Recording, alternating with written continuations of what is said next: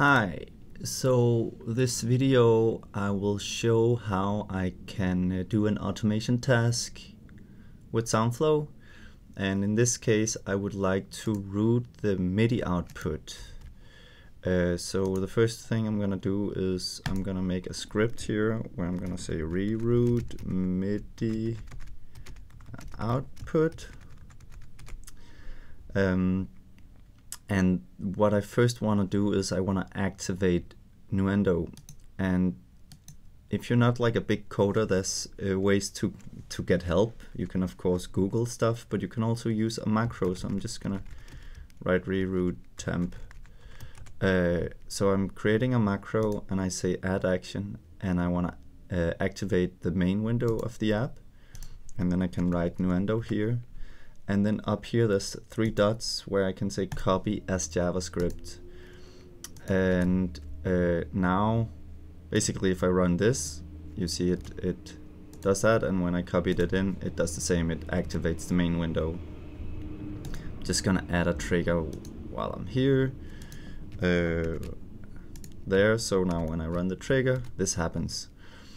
Uh, as I will be doing a lot of uh, stuff with uh, with Nuendo, I'm gonna make a variable that I'm gonna call app, and I'm gonna call it SFUI Nuendo. Uh, so now I'm getting the same. Uh, I run the command and I get the result I want. Alright, so far so good.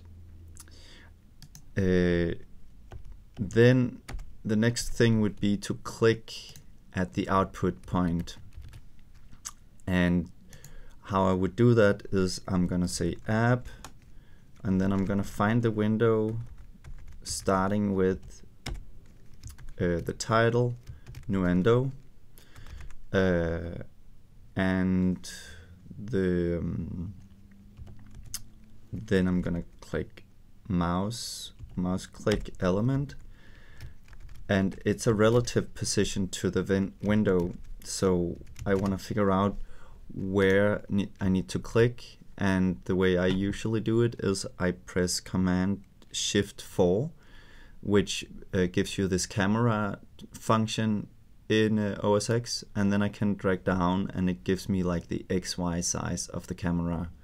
And then when I go down here I can see it's 50 uh, X is 50 and Y is like 375 so I'm gonna write x is 50 and y is 375.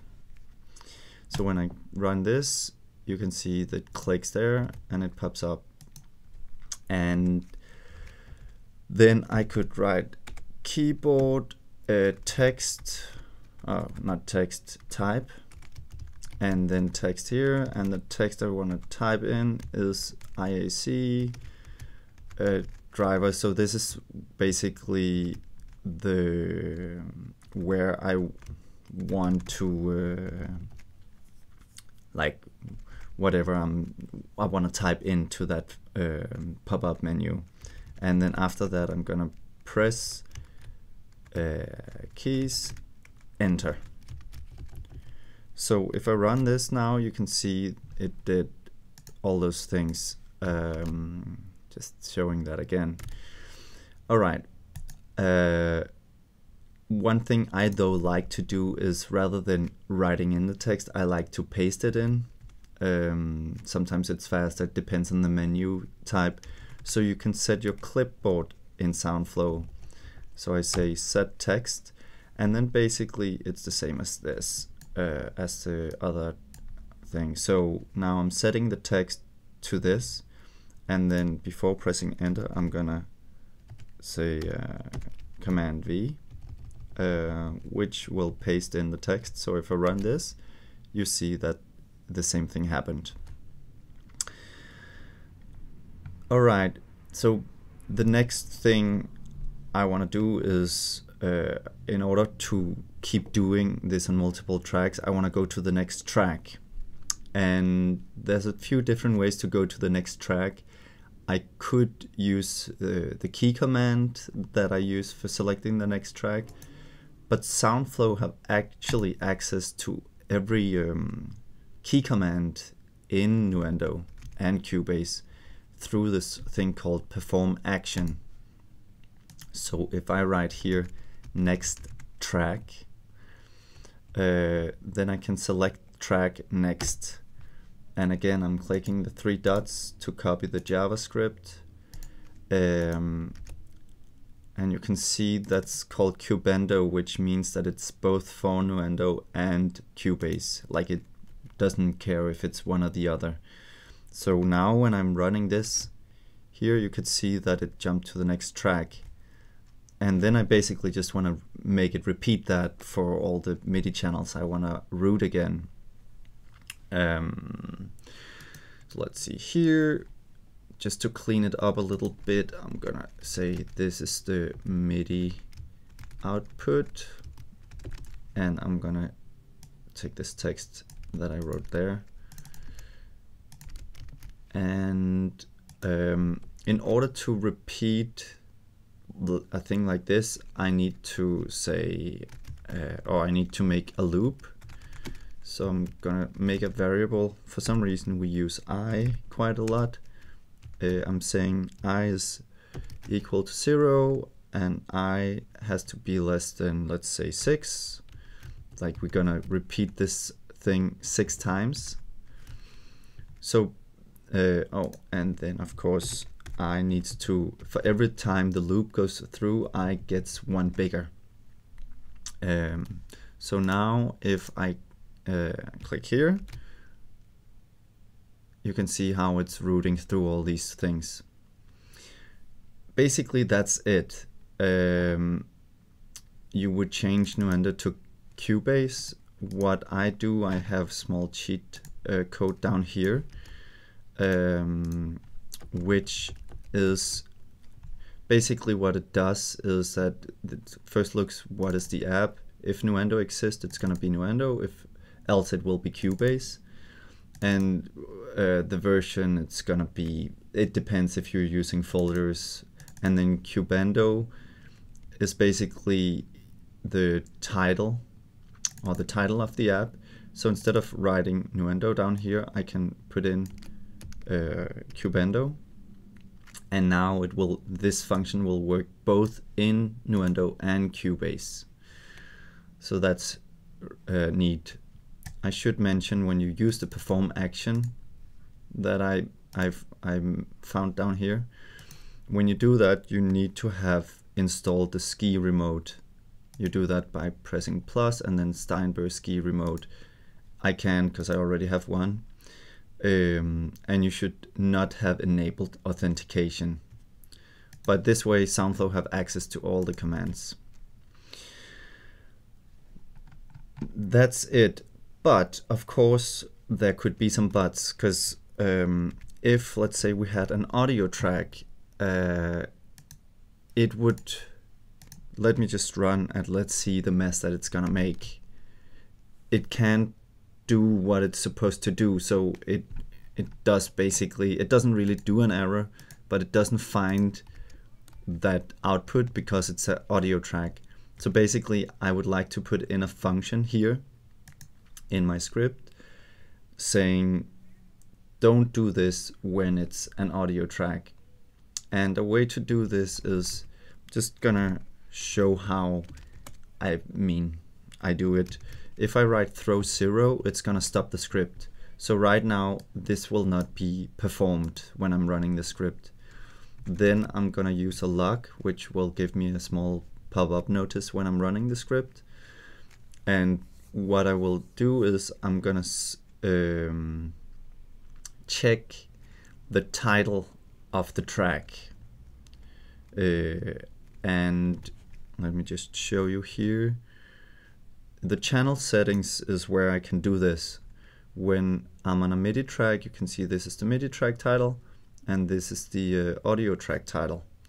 So I say um, app and then window starting with uh, channel settings and then I'm gonna write title value so when I run the command now you can see that's the title of the track or of the channel settings window and now it's MIDI, running it again.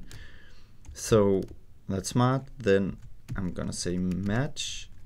And a thing about audio tracks is that they always have a squared parenthesis with the name of the output and MIDI never has that.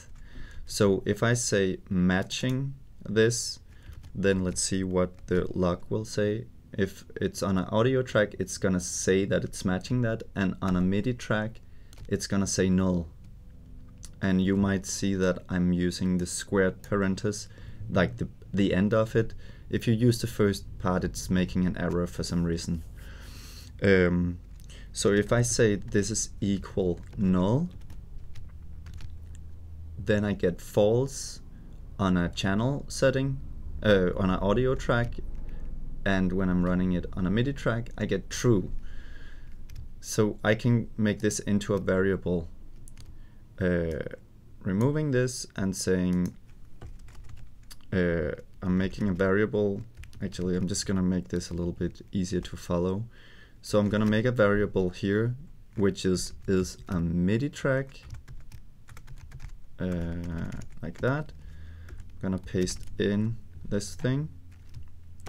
So now this variable is gonna say is it's a MIDI track and if I log is MIDI track and I run this command, I get true on a MIDI track and I get false on an audio track. So I'm gonna remove this throw thing and I'm gonna take this into the loop and then I'm gonna say if is a MIDI track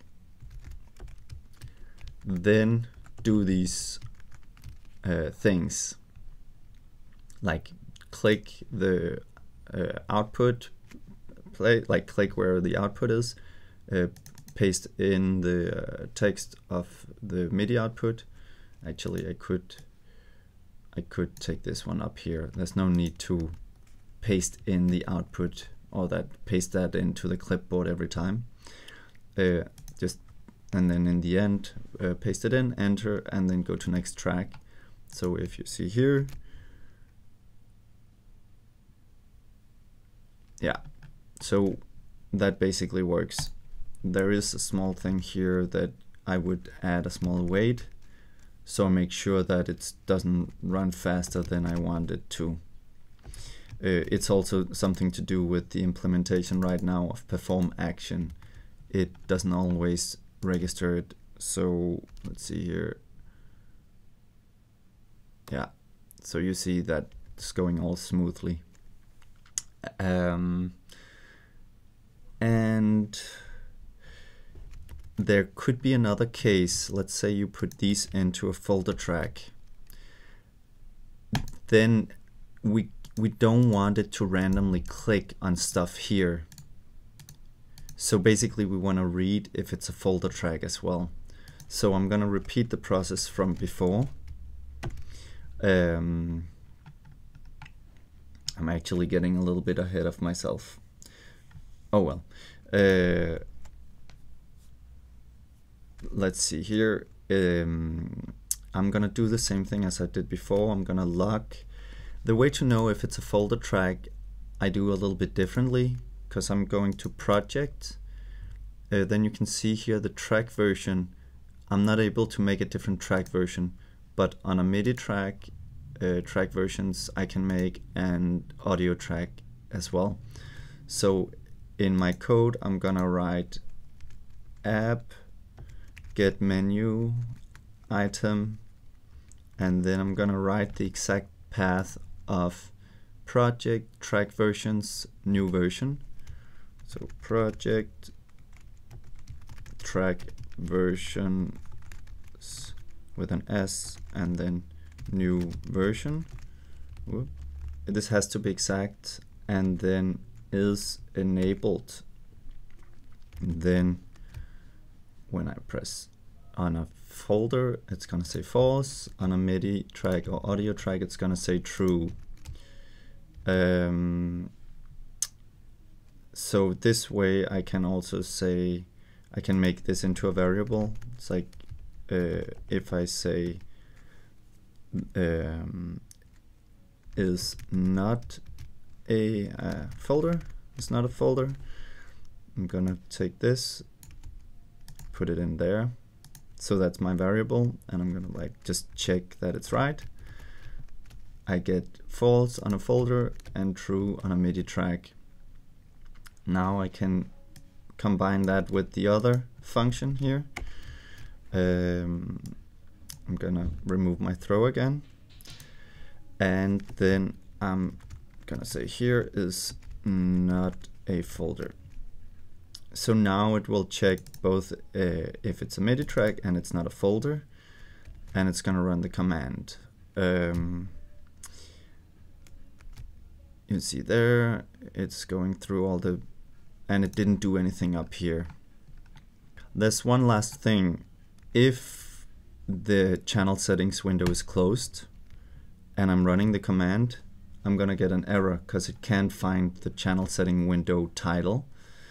Um, so maybe before running the command, I would say if app get window uh, window starting with title channel settings and then I'm gonna say exist so that I'm putting if I put the exclamation mark before it means the opposite. So that means if the channel settings window or, or the window starting with channel settings doesn't exist then I want to open that window I could do that with a key command, but I could again go in here, use the uh, Nuendo uh, Cubase perform action and say, right, channel settings, then edit channel settings. Again, use the three dots to copy the JavaScript. Um, and then you can see here, uh, now it will open the channel settings before and so when I run it here, it opens up. Oh, I guess, oh yeah. So this is again this implementation of perform action that's a little bit too fast. So if I put in 50 milliseconds and this is closed, you will see I get the result.